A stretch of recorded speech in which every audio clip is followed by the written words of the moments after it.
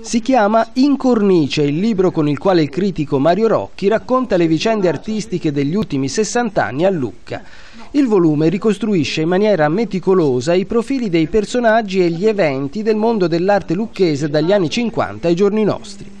La vitalità artistica della città, nella ricostruzione di Rocchi, raggiunse il suo apice negli anni 70, in particolare per il gran numero di pittori che organizzavano esposizioni dentro le mura. Poi questa attività si è molto affievolita nei decenni seguenti.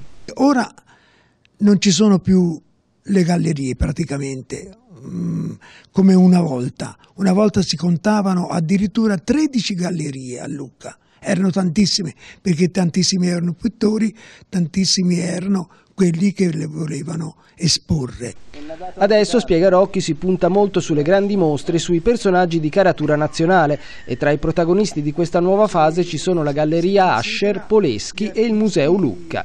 E i pittori lucchesi? Rocchi spiega che ne sono rimasti pochi e non ne vede nessuno di grandissimo talento.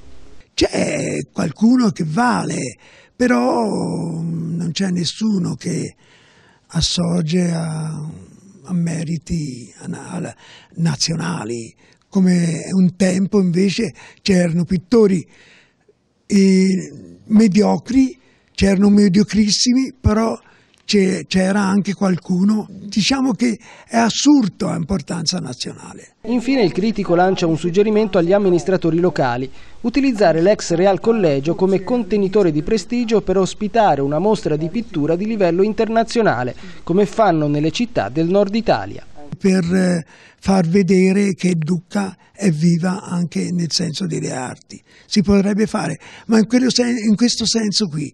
E per i pittori c'è poco da fare, i pittori o ci sono o non ci sono.